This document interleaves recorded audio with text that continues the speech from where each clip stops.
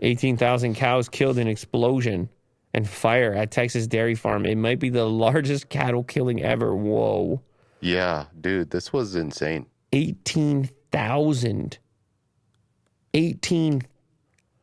That's like a small a small town or city. Yeah, Just white, or I mean the cow version of it. the cow version. Just wiped. I wonder, I mean, how it would have had to go so fast and no escape. The fire spread quickly through the holding pens where thousands of dairy cows crowded together waiting to be milked, trapped in deadly confine. Oh, they were like ready to go in these holding pens. Mm. After subduing the fire at the West Texas dairy farm Monday evening, officials were stunned at the scale of livestock death left behind. 18,000 head of cattle perished in the fire at the South Fork Dairy Farm near Dimmitt, Texas. Nearly three times the number of cattle led to slaughter each day across the U.S. Massive, massive waste. Good Lord And the cleanup. it goes to show you the the downside well one of the downsides of like centralizing these things and having them at such massive scale is that then you can have such massive catastrophe.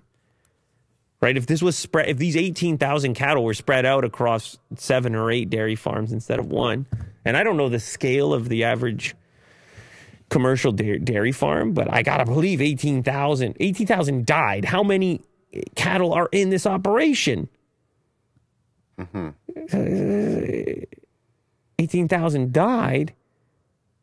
Couple thousand more lived. Like uh, we're talking 20k plus. Yeah, previous fires only had like a couple hundred cows die. Somebody here in the chat, Serge says, "Yeah, dude, it was close to my house. You could hear the cows screaming in agony. agony I will never forget." Lord. A malfunction in a piece of farm equipment may have caused an explosion that led to the fire. and there must have been a lot of hay. They're still Around. investigating the cause. Damn, dude. That's brutal. That is, and it's also one hell of an insurance claim, I'll tell you that.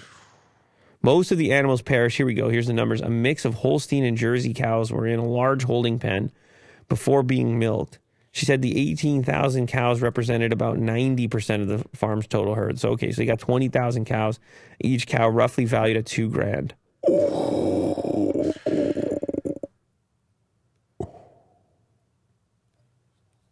Yeah. Man. And just the cleanup process too. Oh man. Brutal.